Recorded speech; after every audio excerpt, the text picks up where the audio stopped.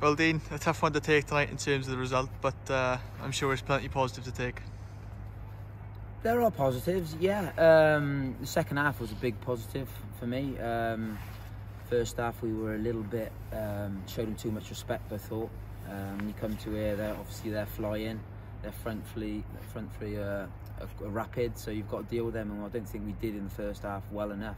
Whereas second half, well, we got to grips with it, and then when we settled into the game, we we affected the game in other areas, which we had possibly two or three half chances, which could have made a difference. And said that, that that was the the key moments of the second half. You had a few chances at the end, which which could have turned into goals. Yeah, yeah. Don't forget, Jamie's obviously saved the penalty. That's the second one he saved this year, and he was great again tonight. Um, but listen, we got we got 11 days off now. Um, well, not days off, but until we play again. So it's a big um, it's a big period for us now to get some players back. Hopefully, we'll get three, three and four back playing. Um, that like tonight we've lost Yak again, um, and we've lost Connor early doors. So uh, our luck doesn't seem to get any better. But um, there you go. Now on to the next. And we mentioned earlier, I think haven't picked the, the same team once yet. Just how tough is that for a manager as well? Yeah, it is.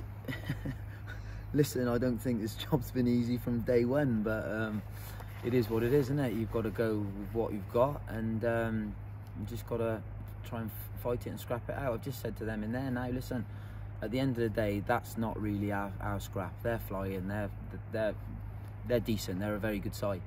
We've got to start picking points up in and around us mid-table. So we've got to start accumulating points now after our little 11 days break and uh, no excuses. And finally, you mentioned the 11 days off. What's the plan now between between now and the next game?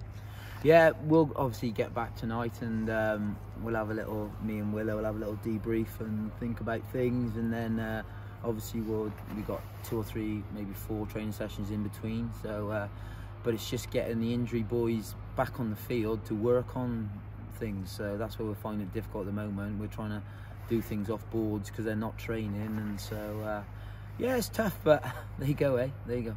Cheers, dude. All right, thanks.